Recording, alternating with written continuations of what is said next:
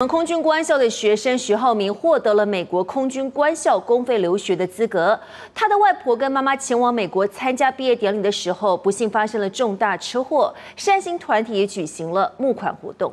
我们开始募款的目标是一千万以上，到目前来讲已经呃大概接近八百万了，呃已经距离目标很近。现在的话还好，因为呢啊听说呢中华航空啊。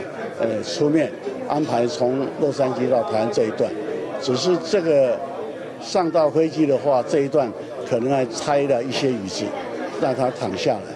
那从 Colorado 这一段的话呢，可能就是要用民间的专这医疗专机，那也不是问题。这个钱呢，我们用在所谓的呃有效率上面。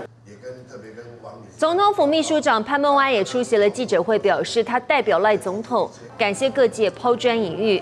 根据了解，等到徐浩明的妈妈跟外婆情况好转，就会由医疗专机送回台湾进行后续治疗。立刻下载“静新闻 ”App，一手掌握新闻时事，尽善尽美，尽好新闻。